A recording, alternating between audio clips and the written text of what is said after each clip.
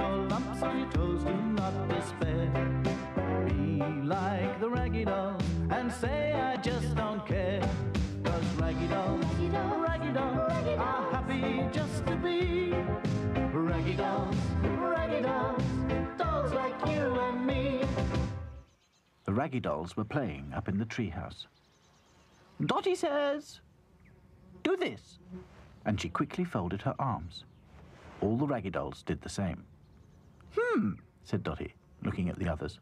Very good, no mistakes. And then she turned to Sad Sack. Now please try to remember, Sad Sack. It's when I say do that that you must not move. I'll try, said Sad Sack gloomily. All right, said Dotty to the others. Dotty says, do this. Dotty says, do that. None of the raggy dolls moved, except Sad Sack. Sorry, Sad Sack, said Dotty. I'm afraid you're out this time. Oh, well, sighed Sad Sack. I'm not much good at copying games. I'm not much good at copying games. said a voice. Who said that? demanded Sad Sack. Not me, said Back to Front. Not me, said Lucy. Not me. said the voice again. There's someone else up here, whispered Princess. Who? Who? Uh, moaned Lucy. Who can it be? Come out, ordered Dotty. Come out, whoever you are, Come out, whoever you are. said the voice. At once, said Dotty crossly, At once. repeated the voice. Stop repeating everything I say, said Dotty, really cross, What? Sorry. said the voice. There was a flapping noise, and a big, brightly coloured bird appeared at one of the windows. It was a parrot. Sorry. it said again. I just love copying people. I forget how annoying it can be. The raggy dolls stared in amazement. At last, Dotty spoke. Oh, um, that's all right. Um, do come in, No thanks. said the parrot, I'd rather stay here. I've got to keep my eye on things. and he looked about, anxiously. Are you in some kind of trouble? asked Back to Front. You can say that again. Are you in some kind of trouble? asked Sadsack, taking the parrot at its word. Shh! What kind of trouble are you in, Mr. Parrot? Well, for a start, I'm lost. Second, I'm really hungry. And third, I've been stolen, taken prisoner, parrot napped. Good gracious, said Dotty. How awful, said Princess, You can say that again. said the parrot. The parrot told the Raggy Dolls how he lived with an old sea captain and had sailed all over the world. Everything had been quite peaceful until one night the parrot was woken up by some strange noises. Before he could squawk or say anything, he was stuffed into a sack and driven off into the night. How awful, said Princess. How did you escape? asked Lucy. We, we, we must inform the police. said Hi-Fi. First things first, said the parrot. what about something to eat? I'm really hungry. But of course. Come on, we'll find something in the canteen. Ah, if you don't mind, I think I'd better stay here.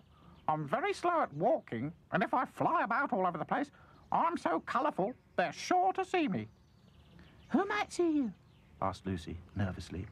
The burglars, the men who took me, they're in a tent over in that big wood. You mean the dark wood? said Lucy. Well, I don't know what you call it, but that's where they were this morning. Then we must be on our guard, said Dotty. You really ought to come in, Mr. Parrot. I'm sure the crooks won't find you in here. The parrot agreed and hid in the tree house with Claude and Sadsack, while the others made their way back to the factory. Florrie Fosdyke was out shopping, so there was no one in the canteen. What do parrots eat? asked Princess. We forgot to ask him. I've no idea, said Dotty. Pity we left Claude and Sadsack with him. They seem to know everything about food. Peanuts, said Back to Front. I'm sure they eat peanuts. There's peanut butter. Said Lucy, with her head in a cupboard. We could make him some peanut butter sandwiches. Good thinking. said Dotty. What I don't understand, Mr. Parrot, said Sadsack, is why anyone should want to steal you, You can say that again. said the parrot. Very well. What I don't under... Uh, excusez-moi, said Claude. Uh, let me explain. I have heard that a clever bird like Monsieur Parrot here is worth lots of money, n'est-ce pas? The parrot nodded. But it wasn't just me they took. He added, All the captain's valuables collected from all over the world. They took them too. Sacre bleu! Did you get, how you say, a good look at them? What, the valuables? asked Sadsack. No, the burglars, of course. said Claude, impatiently. No, Said the parrot. I didn't see the burglars, but I heard them. What do you mean? said Sadsack. One of them had a foreign accent. said the parrot. Dotty, Lucy, Princess, Back to Front and Hi-Fi were on their way back with the peanut butter sandwiches when they saw a van in the factory yard. Thank you, Mr. Grimes, said the stranger. And if you see my most valuable bird, you will please let me know, He doesn't sound like a sea captain. whispered Lucy. I bet he's one of the crooks. Agreed Dotty.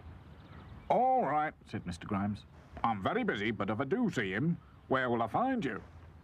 My friend and I are camping in the woods, replied the stranger. That settles it. Muttered Back to Front. It's them, all right. Let's make a note of the number plate and notify the police as soon as we can. Good thinking. said Dotty. In no time at all, all the Raggy Dolls were together again in the treehouse. The parrot watched as Hi-Fi contacted the police on his radio. At at attention, police. He called, At attention, p- p- p- police. B- b- burglars camping in d- dark wood. A patrolling police car heard the message. That's strange. Who could be sending us that signal? wondered the first policeman. Don't know, said the second. But I bet they're talking about the same mob who robbed the captain's cottage. Come on. The police turned on their siren and sped off. Meanwhile, the Raggy Dolls had decided to creep up on the crooks. At last, they found them in a clearing in the dark wood. They overheard the burglars talking.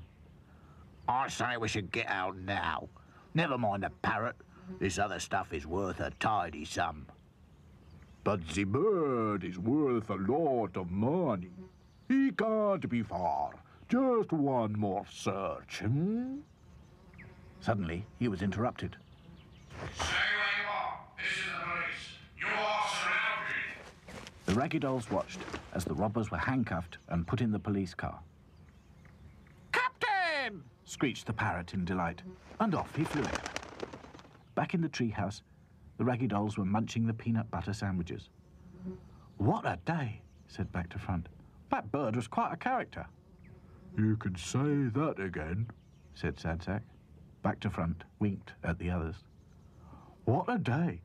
Raggy dolls are happy just to be Raggy dolls, raggy dolls, dolls like you and me.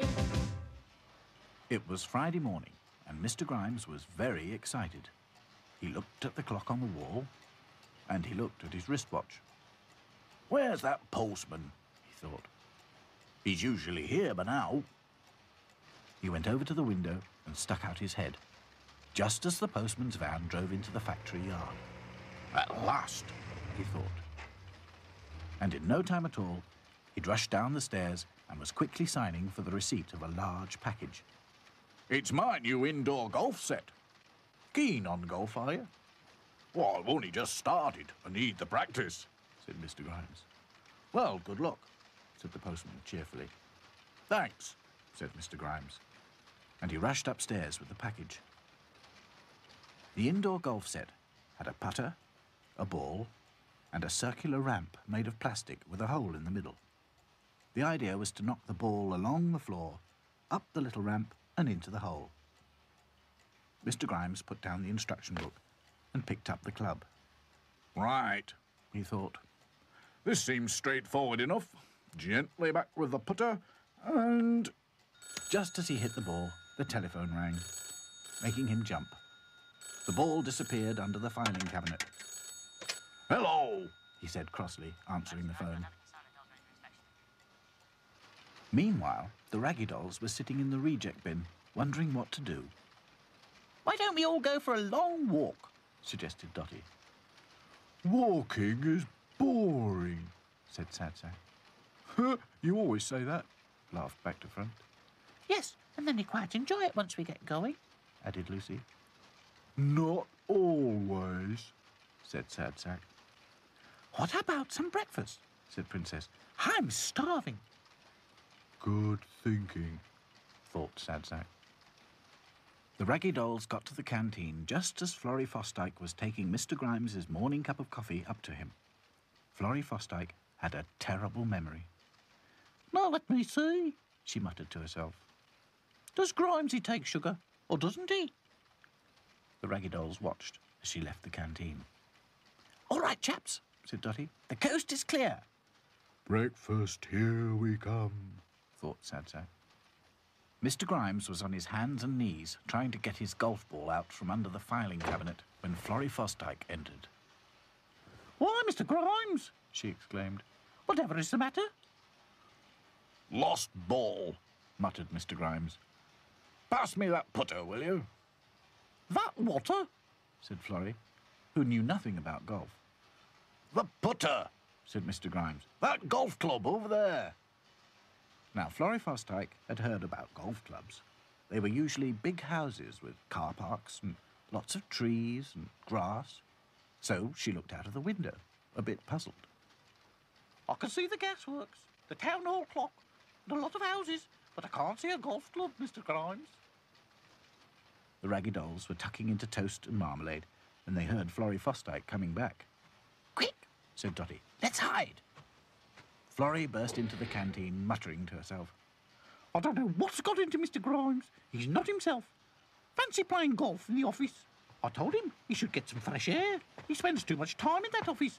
I think it's affected his brain. Just then, Mr. Grimes came in, carrying the indoor golf set. Florrie, he said, I'm sorry I got cross. You were quite right. I've been working too hard. In fact, everyone's been working too hard. The order books are full, productivity's up, so I've decided to give everyone the afternoon off. Here, take this indoor golf set and throw it in the reject bin. I'm off to play the real thing. The Raggy Dolls couldn't believe their luck. After everyone had gone, they took the indoor golf set out into the factory yard. Hooray for old Grimesy, said Back to Front. Now we know what to do today. What? said Sad Sack. Play golf, silly, said Dotty. That stick's a bit big, isn't it? said Lucy. It's no, no, no, no, not a stick. It's a p- p- p- putter, said Hi-Fi. Quite right, said Dotty. And all we have to do is stand on a box. The Raggy Dolls soon found a box, and one by one, they took turns at trying to knock the ball into the plastic hole. Dotty went first. The ball rolled up the ramp, but then it rolled back down again. Bother, she said. Lucy and Princess didn't get close at all. Claude and Hi-Fi didn't do much better. Then it was Sad Sack's turn. He stood on the box, raised the putter high above his head, and swung at the ball with all his might. The ball shot into the air, hit the toolshed roof, bounced right up onto the factory roof, rolled down into the gutter, rolled along the gutter, down the drain pipe, out into the factory yard, right up to the plastic ramp, and into the hole. Bravo, Sadsack! Everyone cheered. Sadsack couldn't help grinning. Next, it was back to Front's turn. He stood on the box, holding the putter. But of course, his head was pointing the wrong way. Uh, somehow I don't think I'm going to be much good at this, he said. Someone else can have my turn. I've had an idea. The Raggy Dolls watched as he walked towards the tool shed. Poor back to front, said Princess. Do you think he's upset? I don't think so, said Dotty. I wonder what his idea is, thought Sad Sack. The Raggy Dolls all took turns again, but it was too difficult standing on a box with the big putter. They were just about to give up when they heard back to front calling from the tool shed. Hey, everybody, come and see what I've made. Whatever can it be? thought Lucy. Back to front stood proudly by a big pile of cardboard boxes. On one of the boxes, he'd painted a clown's face. It's very nice, said Dotty. but what's it for? Sad Sack gave me the idea when he hit the ball up on the roof, explained back to front. I thought, why not? Let's make a crazy golf course. Here, let me show you. Back to front disappeared behind the clown's face, and the Raggy Dolls heard a click and a rumble of a ball rolling. Moments later, a marble popped out of the clown's mouth and onto the floor.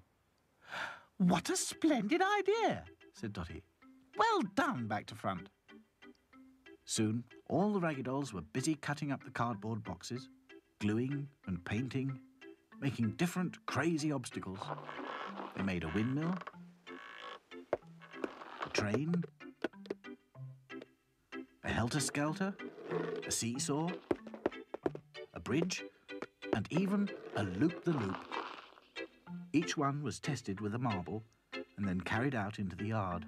At last, the crazy golf course was ready, Oh dear. said Lucy. We can't all use Mr. Grimes's big putter. What shall we do? Mais oui, said Claude. Also, I think it will break some marbles, n'est-ce pas? But Back to Front had thought of that. No problem, he said. I've made each of us a wooden putter, our size, and a special one for me that goes sideways. for the rest of the day, the Raggy Dolls played crazy golf. They made up teams, held championships, and had a wonderful time.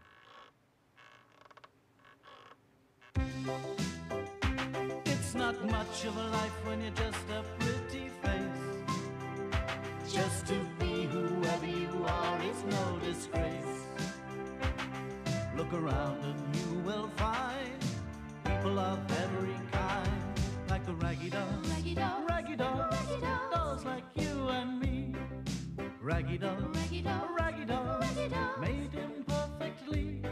So if you're not at ease with your knobbly knees and your fingers are all thumbs, stand on your two left feet and join